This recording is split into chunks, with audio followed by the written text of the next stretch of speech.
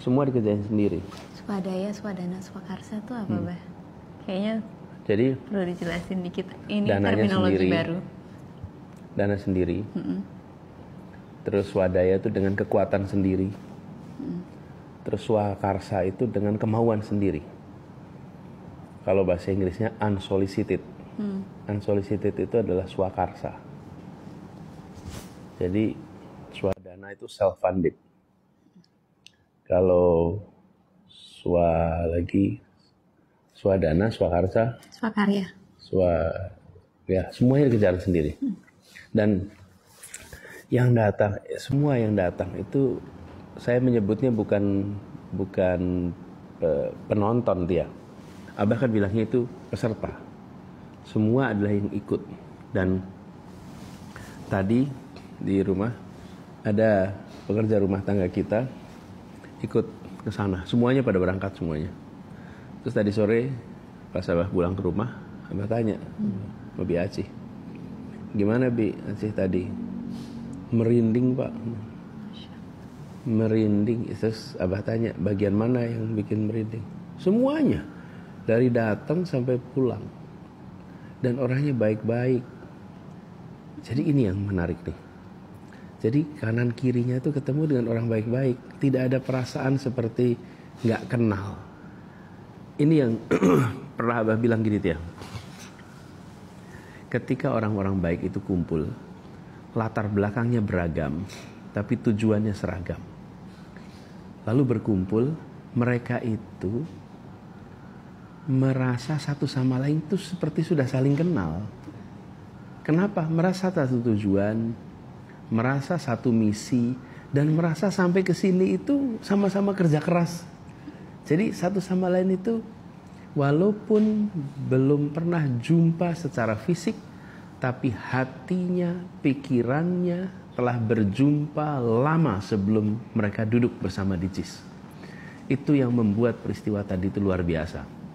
Ketika lebih dari 200 ribu orang berada di dalam satu arena, lalu ada aura yang luar biasa.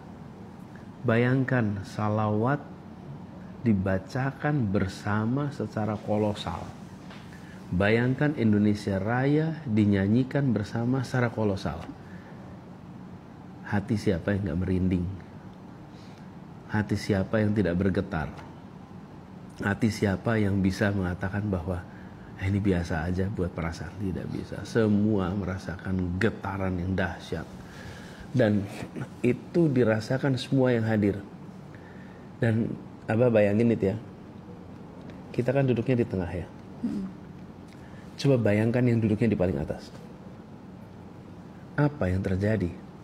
Kalau duduk di paling atas itu dia menyaksikan ratus ribu orang di depannya jadi suara itu suara orang-orang yang ada di depannya.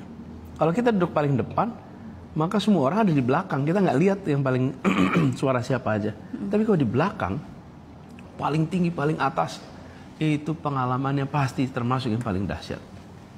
Jadi buat teman-teman yang datang dan duduknya paling atas itu dahsyat pengalamannya.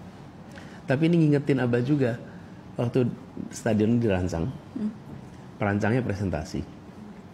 Terus eh, abah tanya lah tuh soal pengalaman pengalaman tuh gini maksudnya Abah tanya bagaimana pengalaman orang yang menonton di bawah dengan penonton di balkon, menonton di Royal Box dan menonton di tempat-tempat yang di atas. Apakah ada perbedaan pengalaman?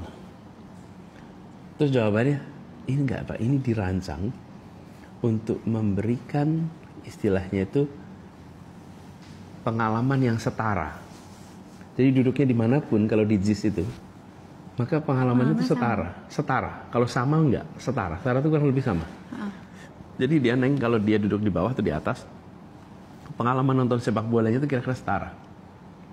Jadi yang duduk di atas tuh nggak merasa kayak kayak kayak jauh, Jauh banget, banget. gitu. Mm. It- nah itu itu eh, ngaturnya pakai pakai desainnya. Nah jadi tadi ini pertama kali JIS bisa sepenuh itu. Jadi saya bayangkan mereka-mereka yang datang itu ya, ya luar biasa. Pas ngeliat di luar juga banyak yang katanya bagi-bagi makanan, bagi-bagi minuman, numpang kamar mandi di rumah warga di sekitar. Rumah warga sekitar juga mereka apa ya ikut kontribusi juga gitu. Ya. Dan senang melihatnya saling bantu, saling jaga. Itu yang terjadi ketika orang baik bertemu orang baik. Ketika orang baik berjalan bersama orang baik. Dengan niat yang baik, dengan tujuan yang baik, dikerjakan dengan cara yang baik. Adanya baik, baik, baik, dan baik. Dan kebaikan menular. Ketika berjumpa satu sama lain, suasananya beda. Dan warga di sekitar sana tahu persis ini yang datang ini bukan orang bayaran. Yang datang orang baik-baik pengen perubahan. Dibuka pintu rumahnya, disambut sebagai tamu. Itu yang mahal dan itu yang ingin kita kembalikan. Kita itu kepengen kita sebagai bangsa itu punya perasaan kebersamaan seperti tadi. Hmm. Dia kerasa nggak tadi? Kerasa. Jadi kita kan tadi sempat jalan agak lumayan ya, karena hmm. kan mobilnya nggak bisa masuk. Hmm. Jadi uh, even ketika jalan itu nyapa gitu satu sama lain. Hmm. Dan ramah friendly gitu bawaannya tuh enak gitu rasanya seru. Betul sekali. Itu abah juga ngerasain